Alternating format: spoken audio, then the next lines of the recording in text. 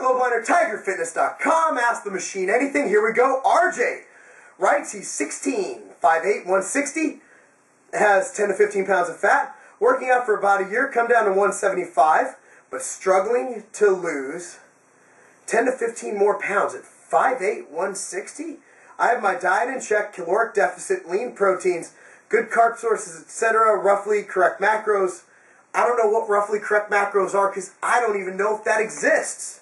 I'm wondering what workout split you recommend and how much cardio to do. I can do a Monday chest, Tuesday back, Wednesday shoulders, Thursday legs, Friday arms, which is 30 minutes of cardio post-workout every day. Or I can do Monday chest with either bis, tries, Tuesday back with either bis, tries, Wednesday shoulders, legs, Thursday rest, and Friday repeat. Anything you could recommend. A video would also be really helpful for this if you have time. I'm also an endomorph, so I look quite beefy. Especially my arms. When I take my shirt, I have 10 to 15 pounds of fat I would love to get rid of. One day I would like to look a beast, look like a beast like you. I'm actually the machine. The beast was taken by a couple people. Um, thanks a lot. First of all, RJ, you're 16. You're already concerned about your health and wellness, I assume, and for that, I congratulate you. And I congratulate your parents on raising a kid whose priorities are in check. I will tell you that um, I'm worried about some body image issues you have here. Um, you're five foot eight, 160 pounds. That's that's very light, bro. Um, what I would do is I would not lose 10 to 15 more pounds. That puts you at 145 pounds. As a male at five foot eight, that's pretty low.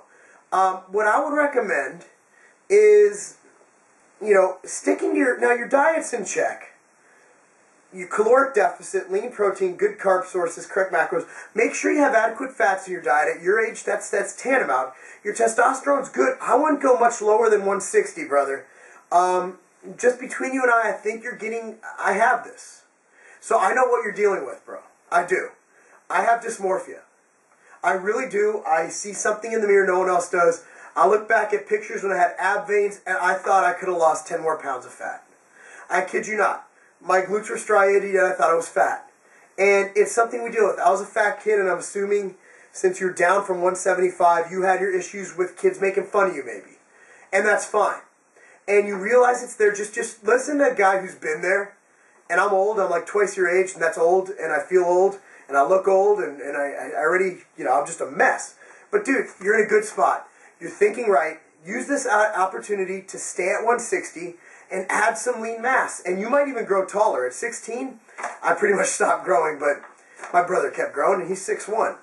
Um, as far as training splits, bro, you're 16. I'm assuming you have a driver's license. You have girls all around you. Have some fun. Keep your training to four days a week. With those four days, I recommend doing one day of legs. Do one day with chest and biceps. Do one day with shoulders, triceps. And do another day with um, with back and rear delts, and and, uh, and you can actually throw traps in on shoulder day. So that's it. And if you want, on the other two days, go for a run in the morning, go for a jog, uh, do some sprints. You're 16. You don't have to worry about being Mr. Olympia. When you turn 18, maybe you could turn it up a notch Enjoy your high school years. You only get them once. Enjoy prom and do not miss the opportunity to go out with your friends and get frozen yogurt and get ice cream and be a kid. But at the same time, you can make some great games with that. You're 16. Your testosterone is through the roof.